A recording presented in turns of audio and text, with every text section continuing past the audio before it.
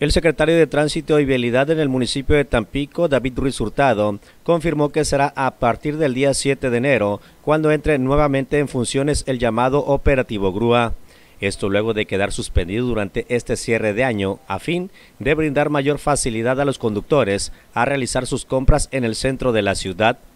El funcionario municipal destacó que las infracciones para unidades que no respetaron la ley de tránsito en estas fechas de fin de año lamentablemente se incrementaron entre un 10 y 15%.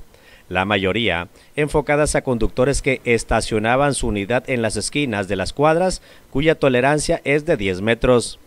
Pues este sí bajó mucho, sin embargo ahorita en esta semana 149 pues, infracciones es, es algo. No obstante que la gente de tránsito y vialidad estuvo las 24 horas cuidando los semáforos, eh, dando atenciones a la gente peatonal, eh, disociosamente que los vehículos bajaran la velocidad, vehículos en operación alcoholimetría para pues disuadir la gente que está alcoholizada o, buscar la manera de evitar accidentes como tales. Pero a final de cuentas estas son las, este, lo que no se respetó en alguna forma fueron las esquinas que debemos dejar una tolerancia de 10 metros, que por norma y reglamento se deben de respetar. Dijo que personal de tránsito mantendrá presencia en las zonas de mayor tráfico vehicular con los respectivos recorridos en las principales avenidas, todo ello considerando que aún existe un gran número de conductores turistas que se encuentran en la ciudad con motivo de estas fechas de fin de año.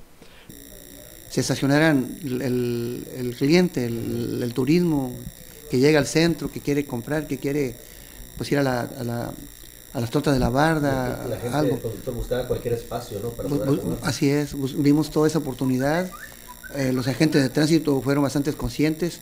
Ingeniería Vial hizo lo propio, mantener los semáforos en servicio, eh, buscar los conos, los tratamos donde pudiera ser este cono, este cuello de botella para que no se, no se llevara a cabo. Yo creo que lo hicimos bien hicimos cortes en algunas calles para que hubiera fluidez, hubo mucho tráfico, hubo mucho turismo, espero que al sector comercial, al sector turismo, turismo le sea de buen provecho.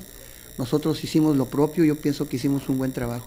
Con imágenes de Edgar Mar para Noticieros, Canal 26, Jesús Cabello.